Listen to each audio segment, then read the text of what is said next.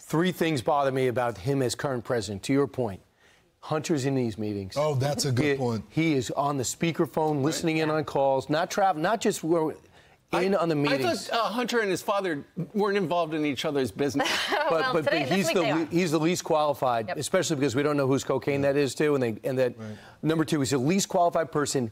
It is not up to the president to put his son as his advisor. Uh, that is that is a no-go zone. well, his wife is his top advisor. it's well, at least she has not spent 15 years with hookers and crack, as far as we know.